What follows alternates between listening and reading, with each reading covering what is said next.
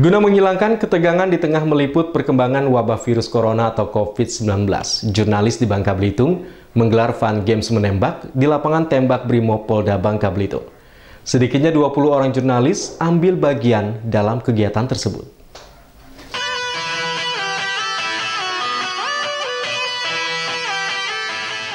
Bersama petugas medis dan tim relawan lainnya, jurnalis menjadi salah satu pilar terdepan dalam memutus mata rantai penyebaran wabah virus corona atau COVID-19. Untuk menghilangkan penat dan ketegangan di tengah kesibukan meliput perkembangan COVID-19, puluhan jurnalis di Bangka Belitung bersama dengan Brimob Polda Bubble mengikuti fun games menembak di lapangan tembak Brimob pada Kamis sore.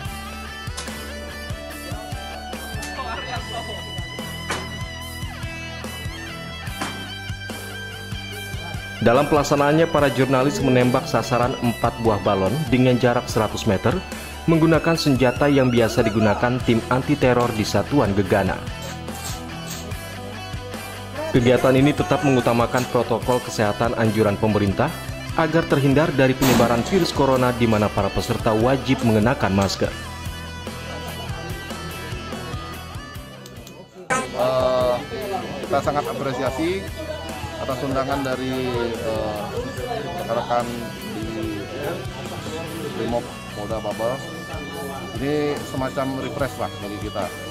Jadi di sela-sela ketegangan kita selama ini meliput khususnya pada masa pandemi uh, COVID-19 ini, ini semacam refresh lah gitu kan.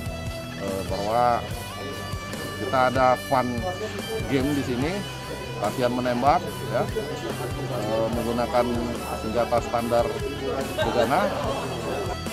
Giat ini dilaksanakan untuk meningkatkan sinergitas dan silaturahmi antara jurnalis dengan Satuan Brimo Polda Babel, serta melatih konsentrasi para awak media.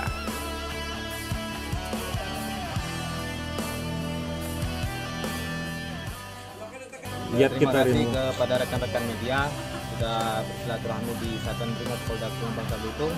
Kegiatan kita ini uh, silaturahmi media beserta Satuan Brimob.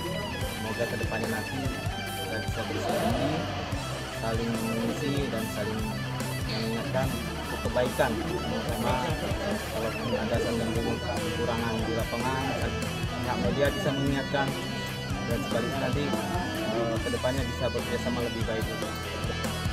Kegiatan semacam ini diharapkan dapat digelar secara rutin sehingga sinergitas antara Polri dan wartawan kian terjalin erat.